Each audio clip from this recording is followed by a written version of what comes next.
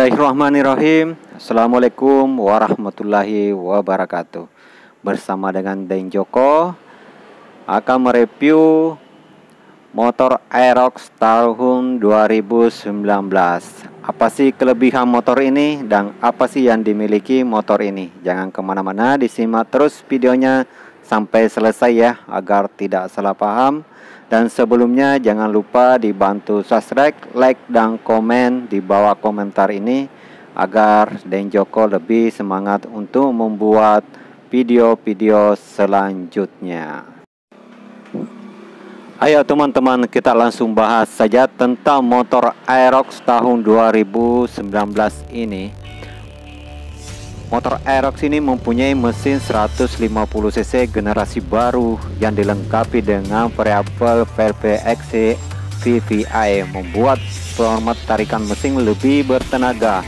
Dilengkapi dengan format Keystone DC cylinder yang kuat dan ringan sehingga format mesin lebih maksimal serta dilengkapi juga dengan smart motor generasi SMG yang membuat suara motor lebih halus saat dinyalakan.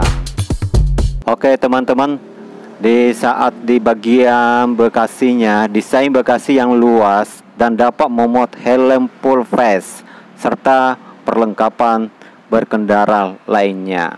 Dan untuk itu joknya semakin luas dan lebih memuat barang-barang yang kita akan simpan. Nah, kita beralih ke lampu stok belakang motor Aerox ini. Dengan pegangan bagian belakang yang menyatu dengan bodi motor memberikan kesan yang sportif. Lampu depan dan belakang LED dengan desain sporty lebih terang dan lebih awet. Nah, lanjut lagi teman, super wet tubeless train ukuran ban depan 110 per 80 kurang 14 ukuran ban belakang 140 per 70 14 menjadi tampilan lebih sporty serta memberikan pengalaman berkendara yang lebih stabil saat manuver di jalan. Nah, kita lanjut lagi di bagian speedometer full digital MD Multivision Information Display yang modern dan informatif bagi pengendara warna background Spiderman speedometer berbeda untuk setiap tipe. Lanjut lagi di bagian electric power socket. Semakin praktis dan electric power socket untuk mengisi daya Google pengendara handphone dan kabel charger tidak termasuk dalam paket pembelian. Dan engine stock yang dimiliki motor ini adalah stock system Travel X yang berfungsi untuk mengurangi konsumsi bahan bakar yang tidak perlu pada saat motor sedang berhenti. Semakin lengkap didukung smart motor generasi SMG yang membuat suara motor lebih halus saat dinyalakan.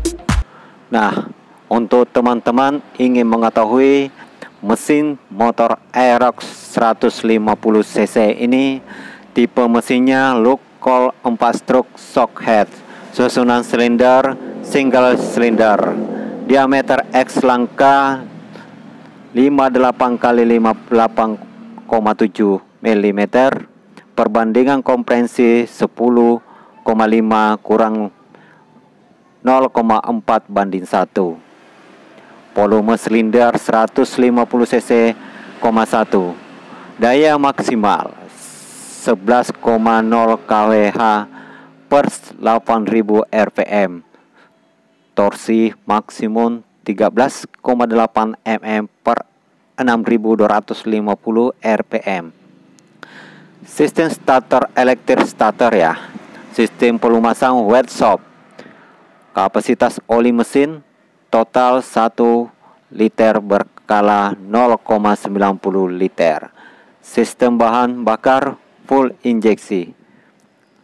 Tipe koplen trifocal automatic tipe transmisi V-wheel automatic nah untuk teman-teman yang ingin memilikinya motor seperti ini Aerox tahun 2019 uh, sudah mengetahui hal-hal tentang motor ini tinggal dipilih tentukan pilihanmu di Yamaha Aerox 2019 Oke teman-teman mungkin itu saja yang saya bisa sampaikan dan memberikan informasi tentang motor Aerox 2019 150cc semoga bermanfaat dan berguna bagi teman-teman uh, pencinta moge sport di tahun 2021 ini. Dan motor-motornya sudah kami sediakan di saat pandemi COVID-19 dan semoga kita bisa bertemu lagi di video-video berikutnya. Assalamualaikum warahmatullahi wabarakatuh